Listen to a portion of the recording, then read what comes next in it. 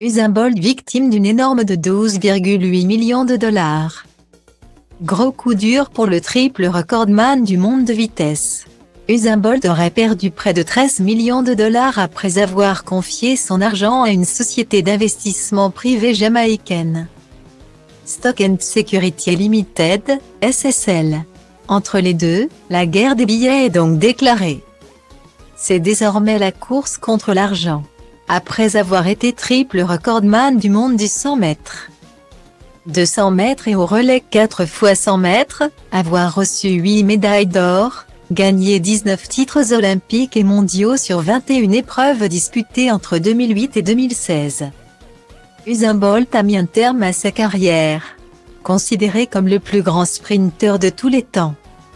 Le Jamaïcain de 36 ans a naturellement tenté sa chance dans le football, pour courir derrière un ballon.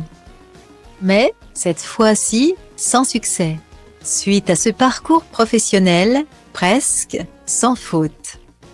C'est du côté personnel et auprès de ses proches, que ce dernier a renouvelé les exploits. Notamment, lorsqu'il est devenu papa, à plusieurs reprises. Olympia Lightning est arrivé le 17 mai 2020, après une belle annonce sur Instagram. Et les jumeaux Saléo et Tindé sont venus agrandir la famille en juin 2021. Avec Asie Bennett, sa compagne depuis 2014, Usain Bolt a donc construit sa famille et son avenir. Point. Un avenir qu'il voit sans doute moins serein depuis qu'il a appris qu'il aurait été victime d'une énorme escroquerie. En effet, l'entourage du sprinter à la retraite dénonce une fraude de près de 13 millions de dollars soit 12 millions d'euros. 12, 8 millions de dollars, 11, 8 millions d'euros, exactement aurait ainsi disparu d'un compte bancaire lui appartenant. Géré par l'entreprise d'investissement privé jamaïcaine Stock and Security Limited, SSL, de Kingston.